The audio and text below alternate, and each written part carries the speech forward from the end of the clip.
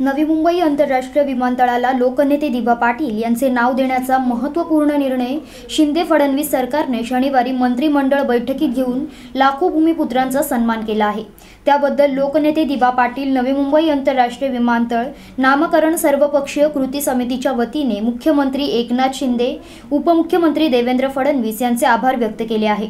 उद्धव ठाकरे यांच्या नेतृत्वाखालील सरकारने एकोणतीस जुलैला सरकार अल्पमतात असताना घाईघाईने काही निर्णय घेतले होते. मात्र या निर्णयांबाबत पुढे जाऊन काही कायदेशीर अडचणी निर्माण होऊ नयेत म्हणून पुन्हा याबाबतचा प्रस्ताव सादर करण्यास सांगितला होता.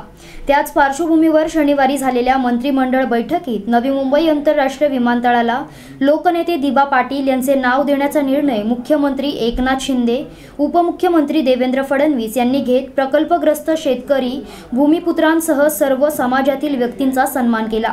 त्याबद्दल सर्व स्तरातून त्यांचे अभिनंदन होत आहे. सदरचा निर्णय जाहीर झाल्यानंतर लोकनेते दिबा पाटील नवी मुंबई आंतरराष्ट्रीय विमानतळ नामकरण सर्वपक्षीय कृती समितीने मुंबई येथील सह्याद्री अतिथीगृहावर मुख्यमंत्री एकनाथ शिंदे उपमुख्यमंत्री देवेंद्र फडणवीस यांचे आभार मानले. यावेळी समितीचे अध्यक्ष दशरथ पाटील उपाध्यक्ष माजी खासदार लोकनेते रामशेठ ठाकूर माजी खासदार डॉक्टर संजीव नाईक पनवेलचे माजी उपमहापौर जगदीश गायकवाड गुलाब वजे जे डी तांडेल राजेश गायकर दीपक म्हात्रे विनोद म्हात्रे यांच्यासह इतर पदाधिकारी उपस्थित होते. पनवेल आणि नवी मुंबईच्या ताज्या घडामोडींसाठी मल्हार टीव्ही न्यूज सबस्क्राईब करा आणि बेल आयकॉन दाबून रहा अपडेट.